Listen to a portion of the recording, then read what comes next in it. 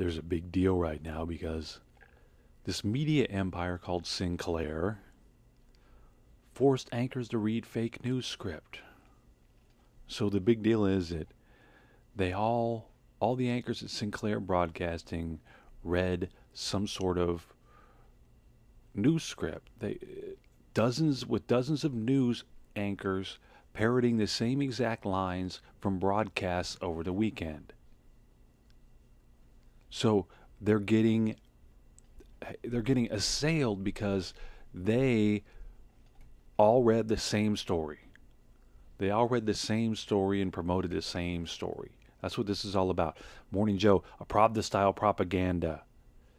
Here you have an entire broadcasting system running a propaganda clip. These guys, when I was a kid, my dad used to watch every news station ABC, CBS, NBC, and they all showed the same thing.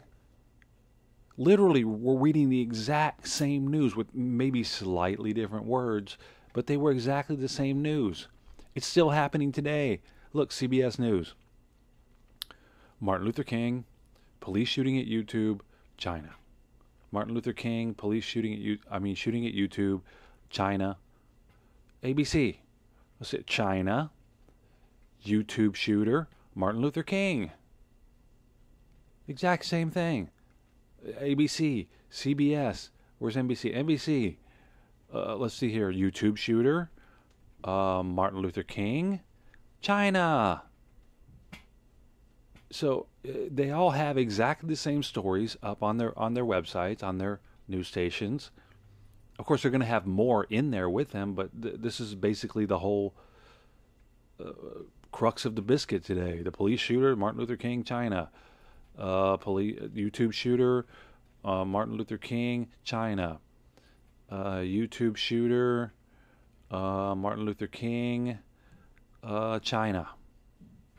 It's the same thing. So why is Sinclair Media getting slammed for reading the same thing on several of their newscasts? Every media outlet is run. Every media outlet is run by the same people. So Sinclair did nothing different than anybody else does.